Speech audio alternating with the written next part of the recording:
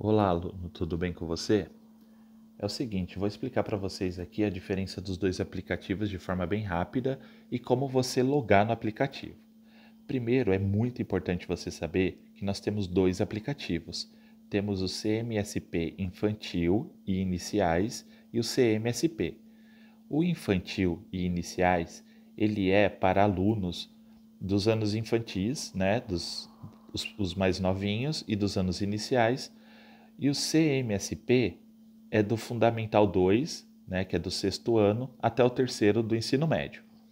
Então, é, essa é a diferença dos dois aplicativos. Você tem que ter um dos dois, tá? É, um não loga no outro. Então, se você é do ensino médio, você não vai conseguir logar lá no do infantil e vice-versa.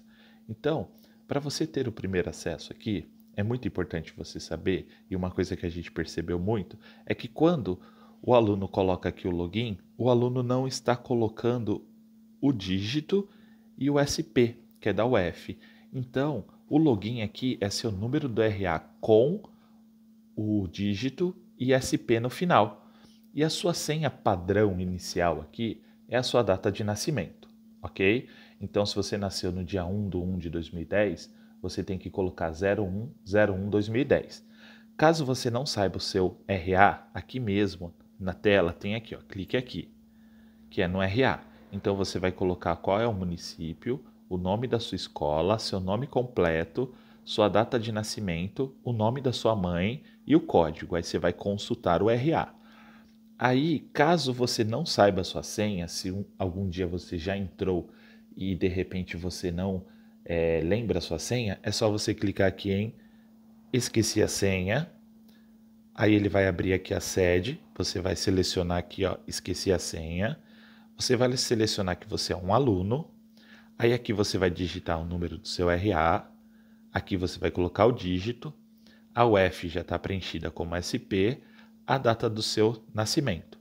Quando você clicar em enviar, ele vai automaticamente é, mudar a sua senha para a sua data de nascimento, tá?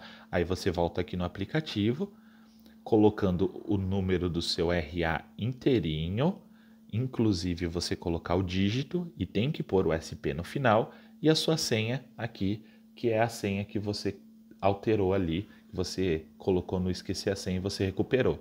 Isso vale para os dois aplicativos. Veja que eles são idênticos.